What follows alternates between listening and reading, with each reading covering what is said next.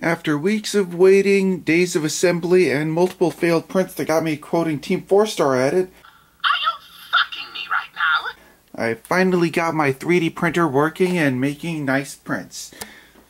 See? There's a little benchy thing right here. Oh, could be better. Uh, Prusa logo. And nice castle. It's nice, right?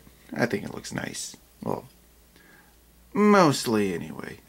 Still, some work, but at least it's it's okay.